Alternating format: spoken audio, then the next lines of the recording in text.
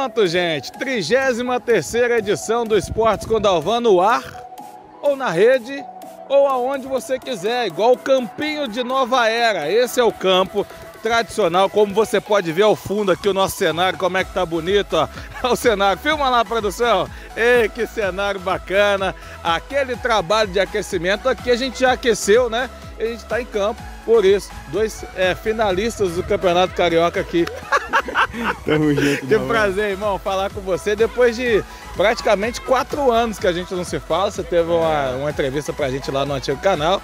E agora tá aproveitando esse período aí. É sempre bom falar contigo. Grande Albert, que é aqui no Nova Era, Coquinho. É isso aí, não. Prazer todo meu, cara. Tá falando com você, né? Como você falou. Da última vez eu tava naquela transição ali do Tupi, depois passei no Manchester, fui para São Paulo. Tive essa passagem esse ano maravilhosa lá no Nova Iguaçu, então é uma honra para mim estar aqui nessa resenha contigo, que é sempre um prazer.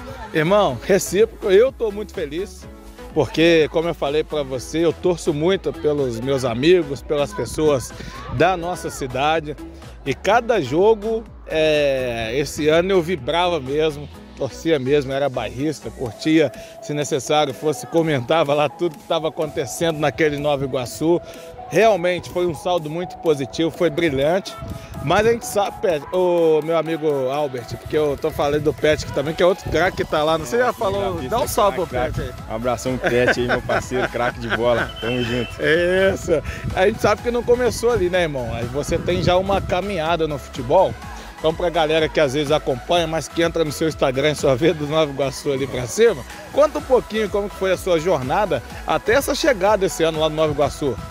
É, a gente até brinca que as fotos recentes ali no Maracanã, nos estádios ali fica bonito, né? Mas a gente sabe a peleja que foi, que é, né, para manter essa carreira aí, mas eu, eu, falo isso com muito orgulho, né, de todos os clubes onde eu passei, aqui nesse campinho aqui onde eu iniciei dando os primeiros chutes também, que eu, que eu levo no meu coração.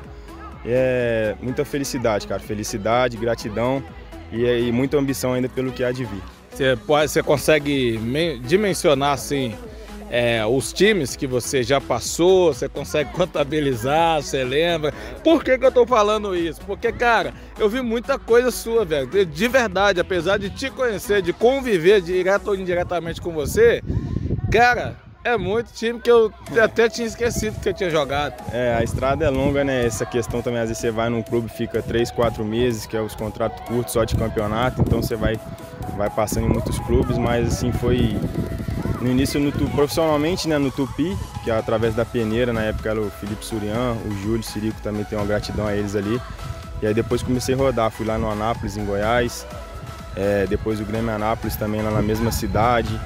Aí tive uma passagem pelo América Teofilotone, pelo Novo Horizonte de novo lá em Goiás. Aí depois Figueirense em São João del Rei. Vim para o Tupinambás aqui também, foi, foi um período muito de muito experiência muito boa, né, que engrandeceu muito a minha carreira. Aí voltei para o Tupi, uma passagem rápida no Manchester. Depois fui para Marília, lá em São Paulo, que também é um clube que, que eu guardo no meu coração, que vivi experiências incríveis lá. E aí depois agora o Nova Iguaçu, que é essa passagem durante esse ano. Cara, e você assim, é, já, como você disse aqui anteriormente, teve essa rodagem essas duas passagens, na verdade três em clubes locais, né? Porque quando o Manchester Sim. veio para cá, você fez parte dessa segunda formação, que a primeira foi lá em 94. Não éramos nascidos, nem eu, nem você, nem o Pet, né? Mas assim, é, nem o Maé, nem o Maé também que tá ali treinando os meninos, era nascido também não. Mas assim, é, pô, você participou de dois ou três clássicos aqui, dos dois lados. Como é que foi, cara, vivenciar essa Sim. sensação? Porque, salvo engano, praticamente você é o único que teve essa experiência de viver os dois lados nesse século aqui, vestindo a camisa do Tupi e do Tupinambás também. É, sempre muito especial, né? Até falo assim que a gente fica chateado a questão que tá hoje em dia o nosso futebol na nossa cidade. Mas foi, foi sim especial, especialmente o Tupi, onde também, querendo ou não, joguei muito tempo na escolinha do Tupi, né? A primeira experiência no profissional e depois teve aquele clássico ali, o Tutu, onde a gente ganhou de 1 a 0 com um gol meu, também foi um momento especial que eu carrego comigo assim. Mas é que eu falo, sempre também torcendo pelos clubes da nossa cidade, pelo esporte da nossa cidade. A gente sabe o quanto é importante para a cidade, para a galera local também. E é, é isso. E continuando esse bate-papo, que agora na área externa do CT, que é campo 1 e campo 2, é, né, rapaz? Tá Pô, aquela tá, tá diferente. Tá chique CT do Nova Era 2 aí, ó. Deu uma paradinha aqui só pra gente deixar os meninos ficar à vontade ali condicionando, porque são futuros Alberts ali, viu? Ali é cor com coça ali, o filho chora e a mãe não vê, meu irmão. Vou te falar, raiz, viu? É, raiz. é. ô, ô, Albert, vamos falar então desse, desse novo tempo, né, cara? Vamos falar um pouco do que você viveu principalmente nessa temporada assim de Nova Iguaçu. Vocês chegaram lá em novembro, Isso. muito frio, diga-se de passagem. frio, frio reverso, né? Um calor danado, meu Deus do céu. Mas assim, é, foi difícil, cara, para adaptar lá com, com o Rio de Janeiro, de modo geral, assim? Foi, cara, assim, principalmente a questão do calor no início, né? Que realmente é, é bem diferente do que a gente é acostumado aqui em Juiz de Fora bastante calor mesmo, mas graças a Deus depois com muita resiliência ali, o trabalho, o dia a dia, a gente foi se adaptando, foi se condicionando a, as características e graças a Deus teve um ano muito, muito abençoado. Legal, a gente vai falar de alguns momentos aí também, momentos importantes como o dos nossos parceiros que nos trazem até a Nova Era, nos levou no bairro Araújo, vai nos levar em breve lá para conhecer lá o Nova Iguaçu. É, se Deus quiser. Agradecer também esses parceiros aí como o Mima Para-Choque. Se você estiver precisando de um reparo aí, gente, de uma revisão, final do ano tá aí, hein? Então vai viajar para assistir o jogo do, do, do, Albert lá, ó. Então já prepara, ver se o para-choque tá tudo certinho, com a referência em para-choques, que é o nosso grande Mima. Aquele abraço para você, pro Léo e para toda a equipe Mima Para-Choques. Também com a gente a Invictus Importados, rapaz. Eu vou te falar, sabe quem tá na Invictus lá agora? É isso aí, nosso craque Cassinho, né? é, rapaz, é. A fera tá Deus lá. Abençoe. Ele e o Eric fazendo é. um grande trabalho lá. É, Deus abençoe, acompanhe eles aí. Logo, logo vou estar tá até pegando um material com eles aí também para dar sequência no trabalho aí. Opa, aí você faz o seguinte, você dá uma moral aqui para mim, tá, ô Cassinho e Eric.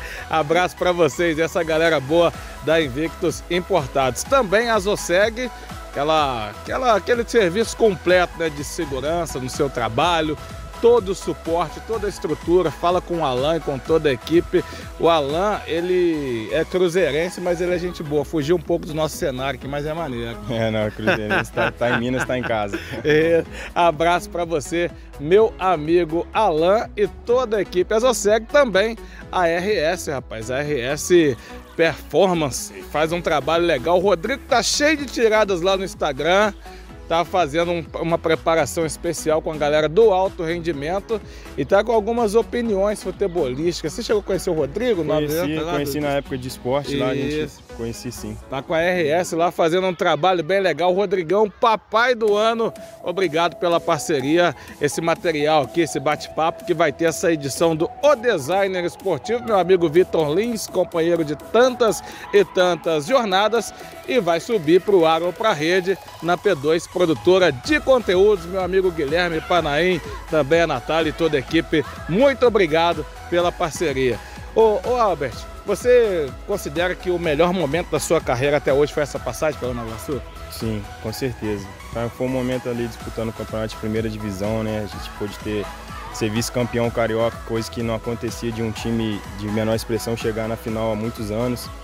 Fizemos uma boa Série D também, infelizmente não conseguimos o acesso, mas creio que foi sim a, minha melhor, meu melhor momento na carreira até aqui. E qual assim o jogo que você considera o mais marcante assim na nessa nessa jornada então de Nova Iguaçu? Cara, a, a semifinal contra o Vasco, que é quando a gente venceu ali, que a gente avançou para a final do Carioca, foi, um momento único, um momento onde eu lembro que até emociona porque meu pai estava no estádio também, meu pai chorou igual criança lá podendo me assistir no Maracanã e a gente ainda foi coroado com a vitória. Foi o momento mais marcante lá nesse ano, foi a, a, semifinal contra o Vasco que a gente venceu. Eu fico muito assim, eu também sou um pouco emotivo, cara, com essas histórias assim de vida.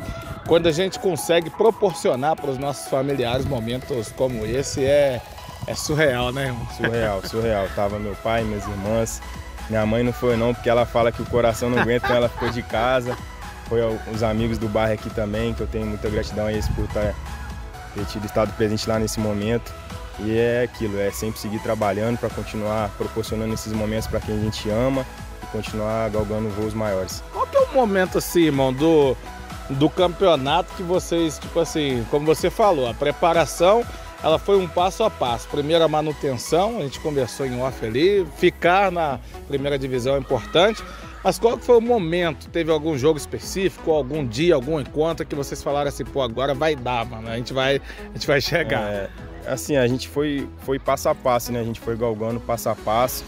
Cada vez que a gente ia conquistando as vitórias ali, primeiramente, como eu te falei, para o primeiro objetivo era manter o clube né, na primeira divisão, onde a gente chegou e, e encontrou o clube na primeira divisão. Mas teve um jogo que foi marcante para a gente também, que foi na primeira fase contra o Vasco também, o jogo em Uberlândia, onde nosso time teve uma, uma atuação assim muito acima da média, fizemos um, um, grande, grande jogo mesmo. E naquele jogo ali em diante a nossa confiança foi lá em cima e a gente começou a, a conquistar as vitórias que foi nos, nos dando a oportunidade de chegar até a grande final. Momento mais engraçado, irmão. Não só nesse campeonato, mas ao longo dessa sua carreira. Tem algum momento que dá para ser mencionado aqui que foi assim, pô, foi legal, foi bacana, arrancou risada? Cara, momento engraçado foi, o pessoal brinca muito o Bruno Henrique, né? E eu, eu, eu, tive a oportunidade de trabalhar com o irmão dele lá em Goiás, o, o Juninho. Juninho. É, até mandar um abração para ele aí. Que antes do jogo, é, como eu tenho muitos amigos flamenguistas, eu mandei uma mensagem para ele, pedindo para falar com o irmão dele sobre pegar uma camisa depois do jogo. e depois do jogo eu cheguei nele assim, meio, né? Porque Bruno Henrique, com máximo respeito. E quando eu fui falar com ele, ele com aquela humildade toda que a gente vê nas entrevistas aí, é, fala de uma forma bem simples, bem humilde mesmo me tratou como se fosse até um amigo dele assim, me presenteou com a camisa que eu presentei um amigo meu do bairro aqui que ficou super feliz também. Foi um momento engraçado assim, porque a gente cria aquela distância do, dos caras, né? E é um ser humano incrível que eu, que eu guardo essa lembrança, assim, um momento engraçado. Você é tranquilo para lidar com essas com, essa, com esses pedidos, assim, porque você jogou contra todos eles, né? Flamengo, Fluminense, Vasco, Botafogo. A gente sabe que a nossa região ela é um reduto de torcedores dos times do Rio. Então, automaticamente, volta e meia tem um pedido. Ah, velho, pô, vê se consegue, tal, tal, tal. Você é tranquilo para lidar? Como é que é para você? É, você falou do Bruno, não sei se teve mais situações que você teve que trocar uma camisa para chegar e falar. E o público, assim, de modo geral, você lidar bem com esses pedidos? Cara, eu sou bem tranquilo assim, né? É, assim, infelizmente é, não é tão fácil de conseguir como as pessoas pensam é. que é, né? Mas eu sou bem tranquilo, assim, sempre me, me disponho a, a estar tá ajudando da forma que eu puder. Porque querendo ou não, Deus está me proporcionando esse, esse momento de estar tá mais próximo desse, dessas pessoas e quem sabe um dia estar tá ao lado também atuando junto. Então eu sou bem tranquilo sim, porque eu creio que isso é uma coisa que é, é uma paixão, o futebol é, é a minha paixão, é a paixão de várias pessoas e uma camisa é uma forma de simbolizar isso assim muito bem. Dando uma de Igor Rodrigues, conterrâneo, que hoje é sucesso aí nas mídias sociais, tem aquelas perguntas que a gente faz assim, elas cobertas, né, para não ficar muito às claras as coisas. Nessa reta final, eu não poderia deixar de perguntar. Cara, todo ser humano, todo atleta, ex-atleta, fofoqueiro igual eu, a gente A gente tem um time, a gente tem um time que a gente torce, né, mano? Que a gente gosta, que a gente admira. Nesse meio período, você já jogou contra o seu time de coração? Já, já sim. já Como sim. é que foi a sensação, velho? Foi, foi, foi incrível também, também assim, é, não tem muita explicação, é algo que só quando você vive ali, você para para pensar tudo que você passou. Às vezes você vê o time no seu coração ali, eu particularmente é, é né, o mesmo que o meu pai, que vem desde a infância. Então foi um momento muito especial também. Tenho certeza que isso aí é também algo que eu vou guardar para sempre. Além desse sonho de jogar lá, porque você tá novo pra caramba, você tá com 20, 20 28. 28, tá muito novo. Não, tá novo, irmão. Na idade boa. É, tá, tá na idade da maturidade, agora que é o processo. É é, além desse objetivo que eu acredito que você tem de jogar no seu time do coração, que aí lá você vai conseguir falar, pô, a gente era, o clube agora tá com essa mania de é. postar, né, uns vídeos do cara lá quando criança, com a camisa do time, tudo certinho. Além desse objetivo, você tem mais algum objetivo assim profissional? Tem, tenho. Tem muitas coisas que ainda quero conquistar através do futebol e no futebol, né? Tenho um sonho também de, de jogar fora do país, né? Conquistar, conquistar aí meu, meu lar, né? minha casinha através do futebol, que é o que Deus colocou na minha vida hoje.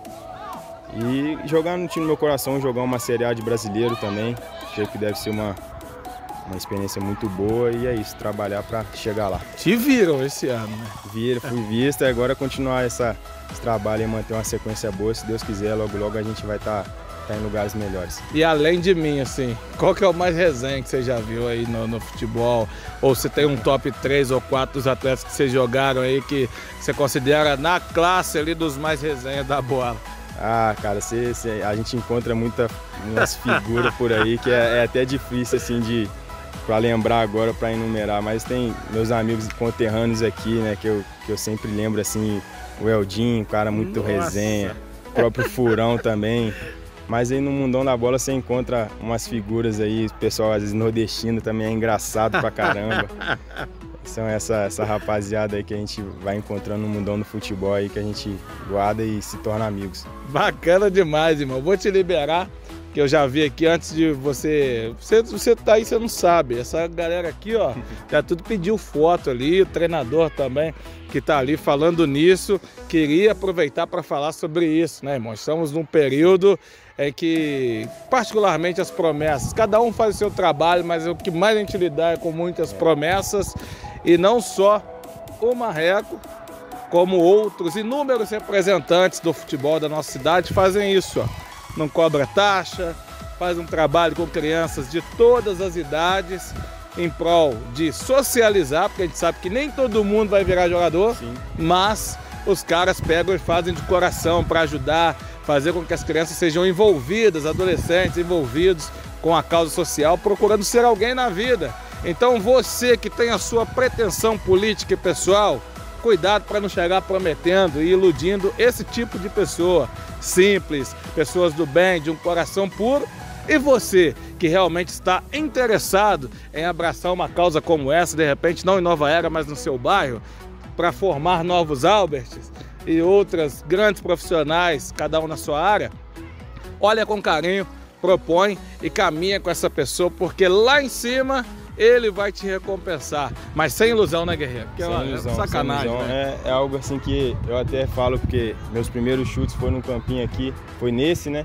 Mas existem vários outros como esse e é algo que a gente tem que tratar com carinho, com seriedade, com muita verdade, né? Porque, como você falou, pode não, não sair nenhum jogador, mas com certeza sair pessoas melhores para a nossa sociedade e é isso que no final das contas importa. Irmão, deixe seu recado aí para o pessoal que está acompanhando, para a galera que está treinando, que às vezes a gente sabe que o futebol, assim como a vida, do nada acontece, de repente dá uma esfriada e aí a pessoa não cria aquela expectativa mais, mas para que esses continuem sonhando com seus objetivos, porque o seu recado vai ser importante não só para a galera que tem esse objetivo de ser um atleta profissional de futebol, mas também para aquele que tem um objetivo de chegar em algum lugar na vida. Deixa seu recado para essa galera bacana aí. Sim, é perseverança, né?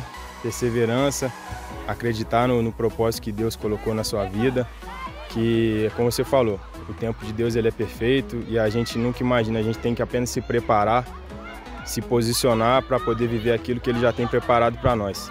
Então que todo mundo possa carregar isso, assim como eu carrego, como você carrega. Queria também te parabenizar aí pela mais uma iniciativa sua, tá sempre procurando mostrar né, o que é nosso, o que é da nossa cidade. Então que Deus possa abençoar esse projeto aí também o reinício, né? Tenho certeza que vai ser de ainda muito sucesso. Você, o Pet também que está nessa caminhada contigo aí, muito sucesso para vocês e que vocês possam continuar com esse trabalho que é diferente e faz diferença para nós. Fenômeno Albert, eu só não fui lá falar com você porque como eu falei, eu sou muito emotivo, meu pai também era torcedor, eu acabei virando torcedor e admirador por causa do meu pai. Eu acho que se eu ver um cara igual o Andrezinho, eu acho que eu não ia conseguir fazer a entrevista, eu acho que eu ia mais chorar do que falar. Mas conseguimos aqui e é sempre um prazer falar com você. Numa próxima oportunidade a gente tá junto, irmão. Amém, tamo junto sempre, um grande abraço, é nóis. O Albert, a fera, para essa 33 terceira edição. Pet, faz um favor para mim corta. Valeu!